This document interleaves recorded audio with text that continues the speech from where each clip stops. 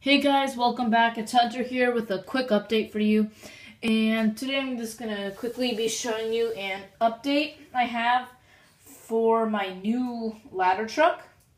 This new ladder truck is going to be a mid-mount, which means the turntable would be right there and the ladder would face backwards.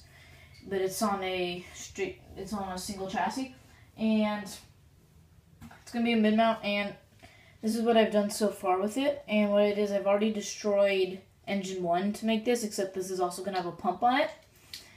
And so quickly, this is what I already have done, is I've built the chassis,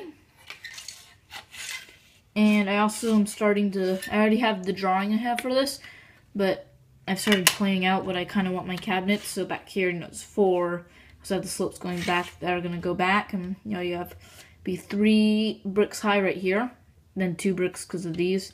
Turntable will be here face back. Then I've also started building up the cab. So I have the windscreen, and I have the headlights and the brake and uh, headlights and the flashing and turning. And I also have just the white stripe starting. Except thing is, is I don't have all the pieces for this truck, and I actually have a Bricklink order coming soon.